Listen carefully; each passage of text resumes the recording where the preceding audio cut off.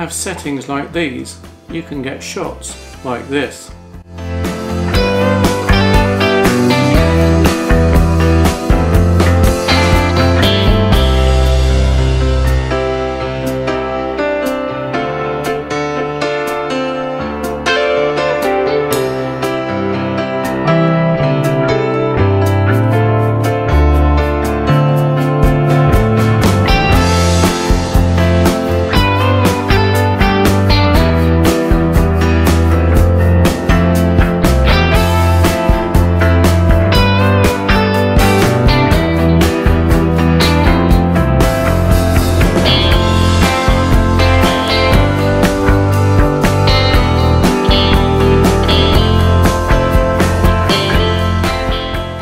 Hello and uh, welcome to Camilla and I. I'm Mark Cooper, and this is my YouTube channel where we do wildlife photography and equipment reviews. And uh, today we're still working on the Sony A1, and I thought today we'd work on settings, particularly my bird in flight and wildlife settings for this camera. So if you're a high-end Sony user, um, this video could be very useful to you because obviously having just obtained the new A1 it was time to transfer my settings from my very successful A2 shots which were in the previous segment to the A1 and of course this is not an easy process because Sony have changed the menu system. And uh, as usual once they change a system you can't just easily transfer one to the other. Anyway, watch on because I've done all the hard work for you. I've actually spent the last two days looking at the menu system and getting it ready for birds in flight in particular. And yesterday I actually went out and tried the settings on a couple of occasions. And um, after a couple of glitches, yep, I hopefully I've got a basic starting point of settings for you for an A1 or a high-end Sony camera, A9, A9 II, A7R4 and indeed the A7S3 even shares this menu. So I suppose you could use that, although that's essentially a video-centric camera and we're just concentrating on the stills on this particular. So a quick disclaimer here, I'm not a Sony ambassador and um, all these settings are the settings that I use and may not suit you at all. But obviously you can tweak my settings in order to make them work for yourself. And indeed, if you've used Sony cameras before, hopefully you'll have a better idea than me. And indeed, if you've got better ideas than me, please let me know in the comments below because we're forever learning on this. And I'm not a technical geek. I'm not a computer person. So uh, hopefully I'll be able to explain what I've done. I hope. Anyway, disclaimer out the way, let's dive straight in and bring you a bit closer and I'll run through the exterior controls first and then I'll do an in-depth analysis of each page as we go. Oh, painful. Anyway, if you can stick to the end, I'll show you something else at the end. Don't know what yet. Haven't thought of that. Okay. Anyway, yeah, stick to the end because there'll be a surprise at the end. So here we have the brand new Sony A1, which um, I've set to program the same as my A9 II. Well, I hope I have. Anyway, first of all, we've got to explain a few of the exterior settings that um, operate the camera. And then we'll dive into the actual menu itself.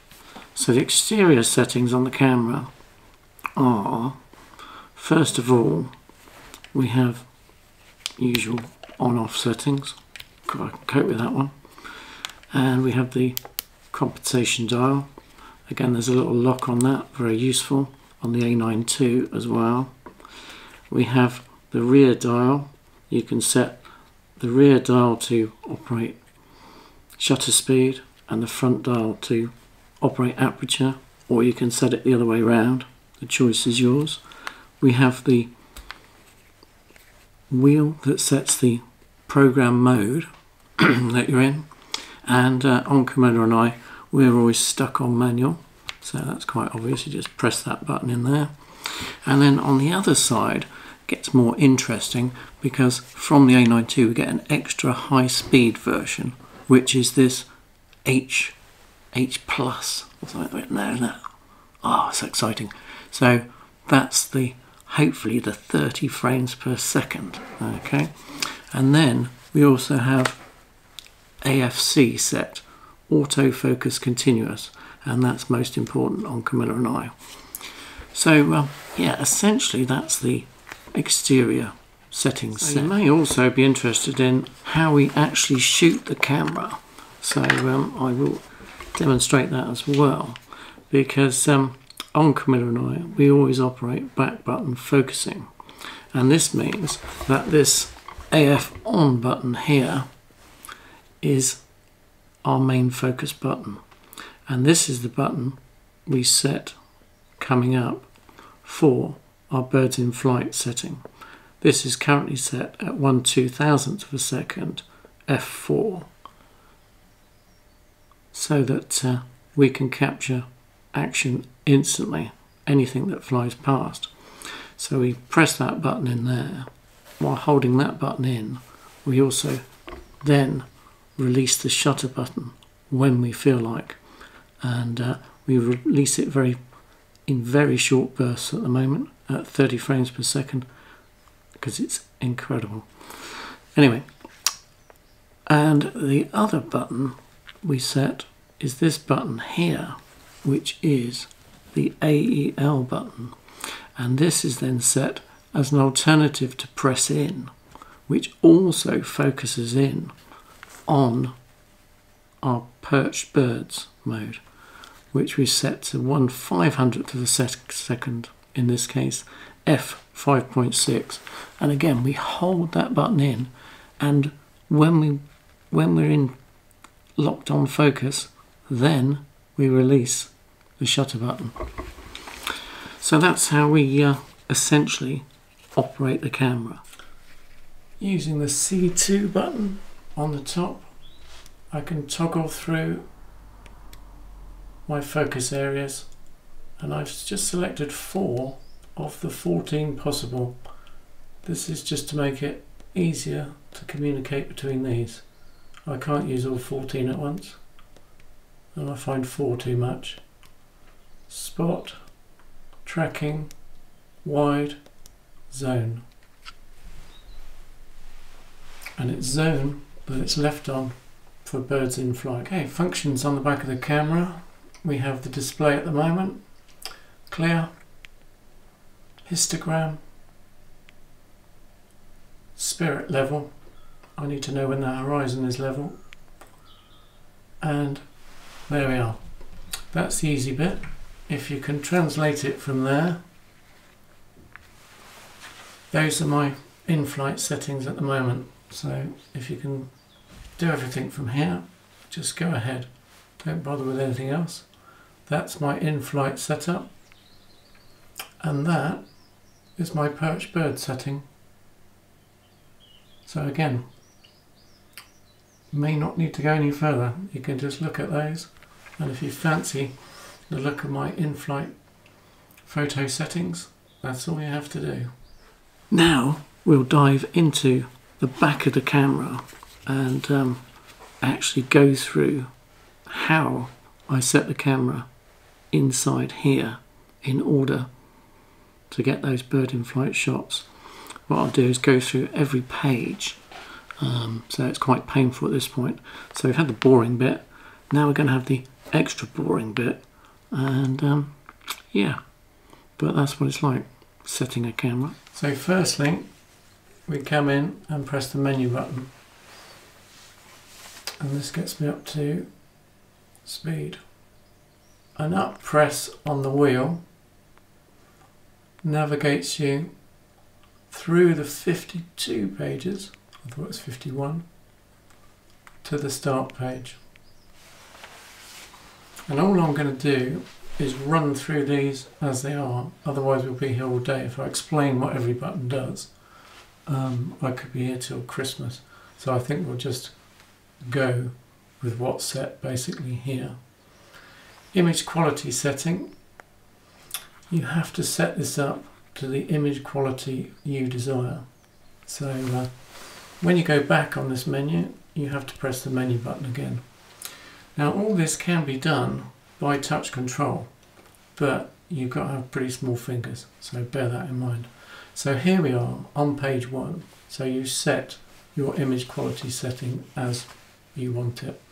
Then we go JPEG HEIF I think this is the new TIFF style sort of format so just ignore the fact it says HEIF took me about 10 minutes to get past that. JPEG JPEG JPEG image quality. Slots 1 and 2 slot 1 has the new CF Express card type A in it slot 1 and slot 2 has the old style standard SD card. And uh, I've set it so that it records the same information to both. So I have a backup. JPEG aspect ratio must be 3.2 don't set it to if you want the full 50 megapixels it has to be that. Because if you set it to 4.3 it changes to 44 million pixels. So leave it at 3.2 for the full 50 there's page 1 next page don't do anything. This is the initial setup. Page 3 JPEG again. Image quality settings have it like that. Aspect ratio again have it like that. Video I think I've set it to 4K 100 frames per second. Movie settings again we're not doing these on this APS-C that's if you use an APS-C lens. Nothing else on that one. Okay page 4 high, high ISO noise reduction.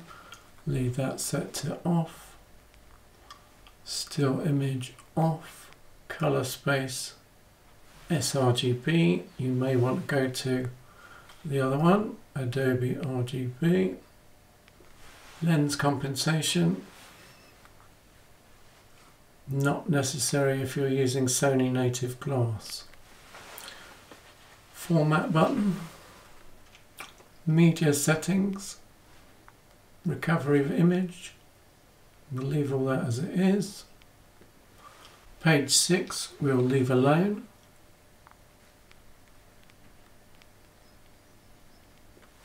Again you could set your serial number. Okay page 7 important page page 7 camera set memory. This is when you set all your controls. You can set it and memory recall which card. You can uh, record a card with your memory settings on. So you'd use that in that case. And this is the important button on this page. Regular customer shoot set. Recall custom hold. Here we set what we want to recall on this button here. So this essentially is our perch bird setting. So we go down and anything I mean you could just check three or four boxes on this. But the choice is yours what you have set. Anyway these are my settings as you can see so you can set those if you want or you can set your own the most important thing is when you have set them all come down to the bottom of the page and register. Okay, page 8, continuous shooting speed, obvious if you want the high speed, self timer, I put it to 2 seconds. Can change it like so. Bracket settings, mainly for landscapes interval shoot function, pixel shoot mode, again it's just largely for landscapes, set very still on a tripod. Page 9, silent mode shooting. Normally I would set this to silent, but as it's a new camera, I've left the audio signals on so that we get used to a verbal, a noisy click, because otherwise we could shoot off thousands of frames without even realising it with this camera. Electronic shutter of course to obtain the uh, number of frames. Disable, disable, anti-flicker. Whoops, on my steady shot on, steady shot adjust, auto. Not doing this, we haven't got a zoom lens on. Grid line display, again, this is where you can set that. ISO, ISO auto. We will be changing the range limit, but not on the initial setup. Exposure compensation. That's the actual value. Metering mode, multi-metering. Spot metering point center. AEL. This is important. This is on. That sets the back button focusing. 16 flash. We can whiz through all this because at some point we will use the flash but not on this occasion. White balance, always set to auto. Shooting in RAW, it can always be changed.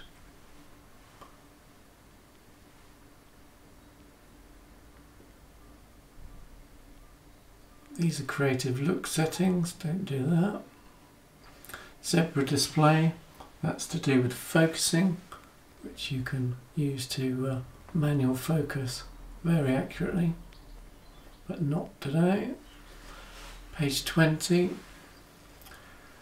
Here we have balanced out emphasis. We don't really use AFS on the settings, so we stick to AFC, and you must set that to release. Tracking responsiveness. This is how sensitive you want the tracking to be we have it set to 5 on Camilla and I. But you might want it on a lower setting. AF illuminator off, that's the light important to us that comes on at the front of the camera to help with the autofocusing, we want that off.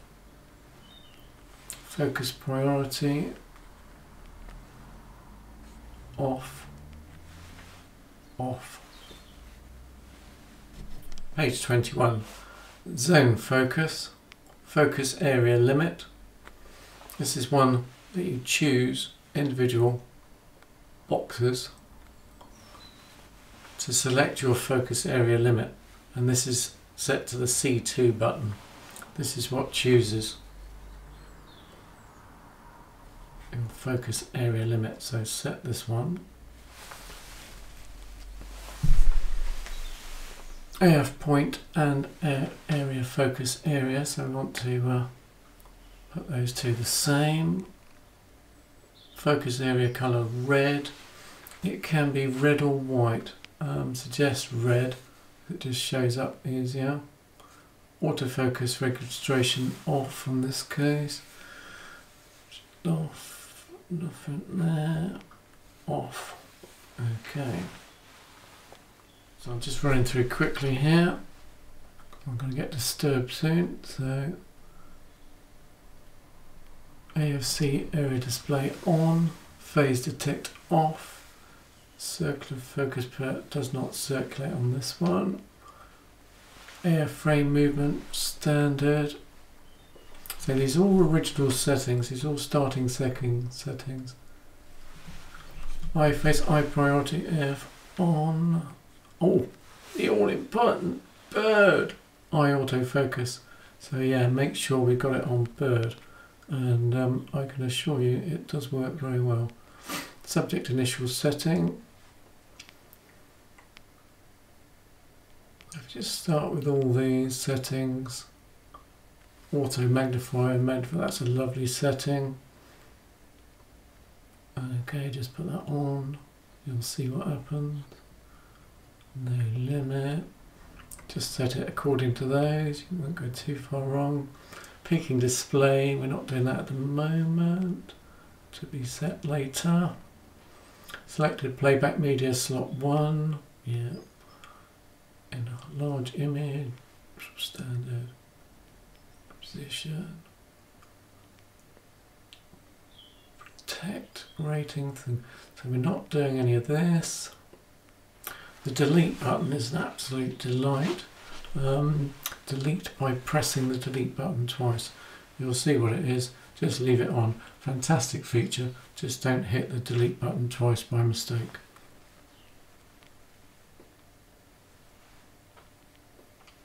Crop, rotate, copy. No, stick to JPEG. Don't know what HEIF is. Continue play interval. Yeah, just standard playback modes. Playback. Yep. Set all this like this. Oh, I tried to connect the smartphone. It did. But um, again, we're not really bothered about any of those. Mm. No, go through all that. Bluetooth off. Dress setting. No, don't want any of that. Airplane mode off. I think sometimes I do set the airplane mode in order to save power, but um, I haven't done it yet. It does use more power, this camera. I'll say that now. All self-explanatory. Right, custom key setting. This is where we set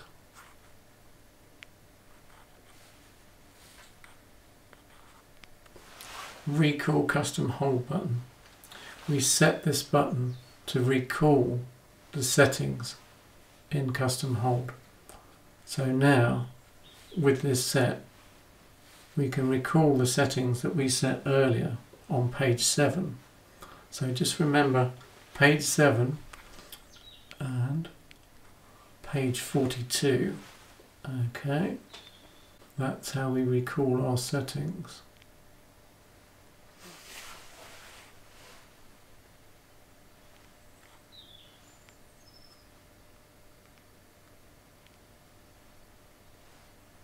Page 44.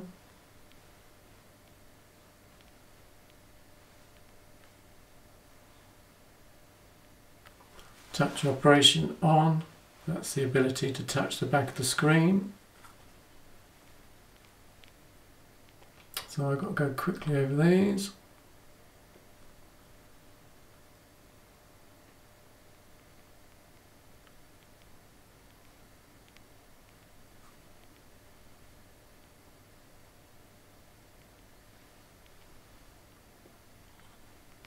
always a display modes.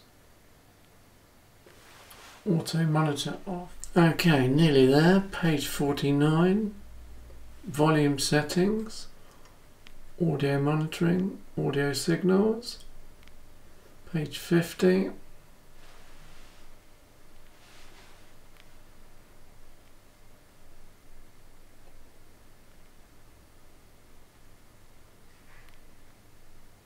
Page 52, last one.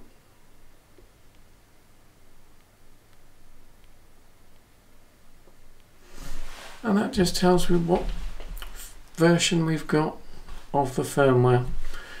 And there we are. So that's how the camera is set for R A1 flight bird settings and static settings. So if you can follow through all that and set it the same, you will have Camilla and I settings. Yeah, just to show you the eye autofocus.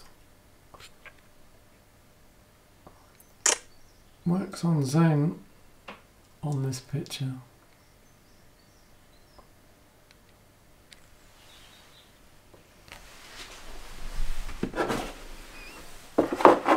Works on that picture. Doesn't work on this picture because the bird in effect is too far away.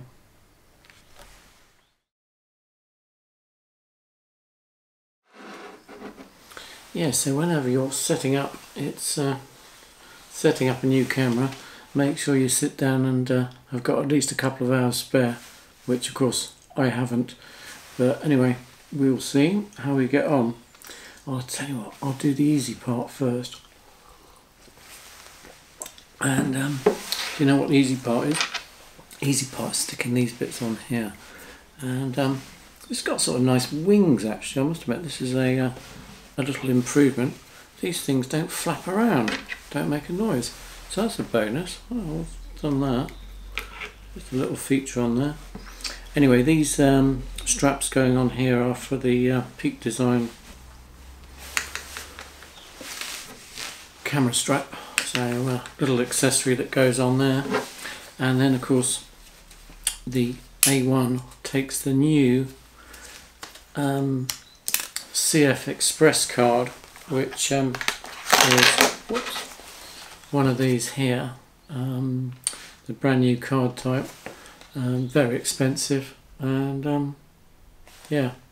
Anyway, to get the full features out of it, I think you need one of these, and um, I've taken this one out of the A9 II which is the old memory card style, and that goes in slot. Like so. Yeah, that seemed to fit. And then this one, so I never slotted one of these in before, but I think it goes in in a very similar fashion. See the uh, markings on there, and hopefully that just fits in. Oh shit. Oh shit. I've got the wrong card. It don't fit at all. you Wally. Never mind. We'll start again. Wow, what an embarrassment. And um, yeah, what a mistake to make. That's why we do this on Camilla and I, so that Camilla and I make the mistakes, i.e. myself, I make mistakes. I ordered a Type B CF Express card. Gah! Didn't know they were that advanced. They obviously went to B before they had A. Apparently that's what they did when I rang up Wex Photo Video. Anyway, marvellous service from Wex. 30 day guarantee return. Ooh, so um, beautiful. Not only that, they're going to drop off the correct card, a Type A card, so uh, make sure you buy a Type A CF Express card for your Sony A1 and when they drop off the other card they're going to pick up the old one and return it. Absolutely brilliant service. Obviously had to pay for the other one as well so we're currently down a few hundred pounds but they will once they get this safely in their mitts be putting the money back in my bank account for totally my fault and charging me £10 for my total stupidity. So, uh, yeah, there we are. Anyway, good point.